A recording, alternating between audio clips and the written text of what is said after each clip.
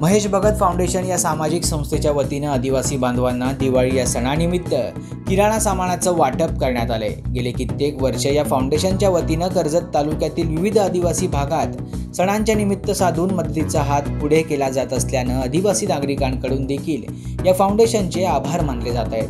एकीकडे देशावर घोंगावत असलेले कोरोना महामारी तर मान्सून काळात आलेले चक्रीवादळ याने अनेकांचे संसार उघड्यावर आले. सर्वसामान्यांचे यात कंबरडे मोडले गेले. त्यातूनच सावरताना समाजात येत असलेले सण रीतिवाज यात कुटुंबाची जबाबदारी पार पाडताना कुटुंब प्रमुखाची दमचाक होत होती. यामुळे महेश भगत फाउंडेशन या सामाजिक संस्थेकडून गोरगरीब आदिवासी भागात किराणा सामानाच्या माध्यमातून नागरिकांना मदतीचा हात पुढे केला गेला.